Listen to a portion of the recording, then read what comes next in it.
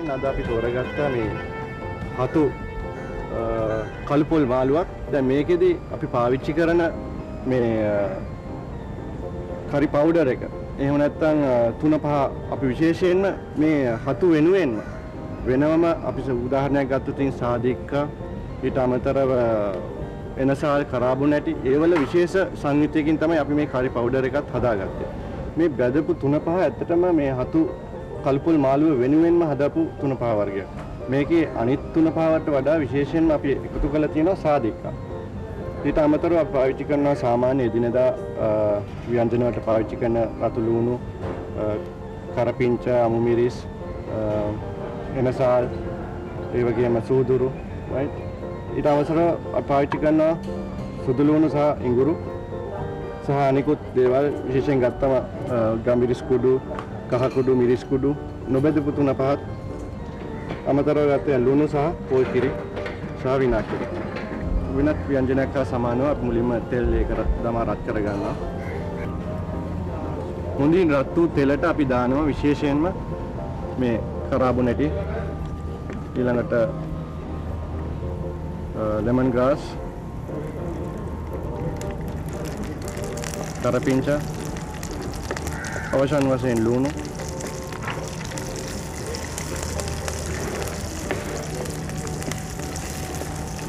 සහ අමු මිරිස්.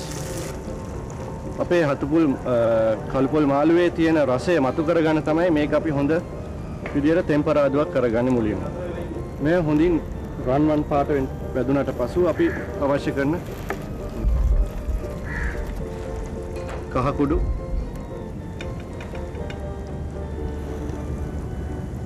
මිරිස් කුඩු සහ ගම්බිරිස් අපි දමා ගන්න.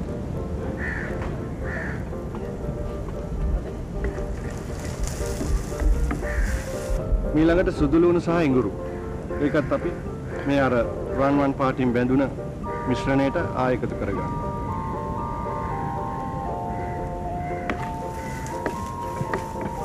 විශේෂ බැදපු තුන පහ ඊළඟට අපි එකතු කරගන්න.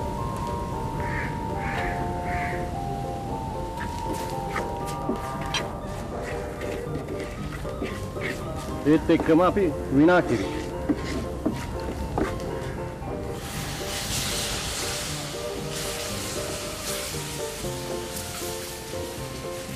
ඊළඟට ප්‍රධාන හතු අපිට අවශ්‍ය තරම් අපි එකතු කරගන්න.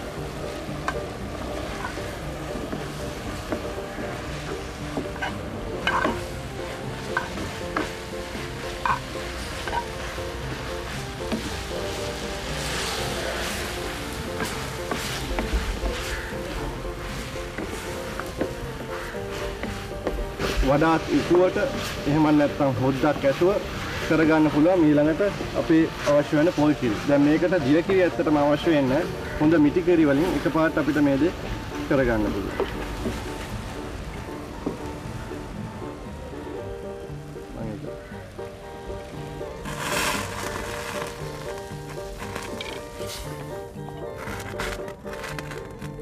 ඊළඟට අපි අවසානයේ අනිවාර්යයෙන්ම දැමිය යුතු ලුණු. ඒක විවිධ පුද්ගලයන්ගේ අවශ්‍යතාවය අනුව දා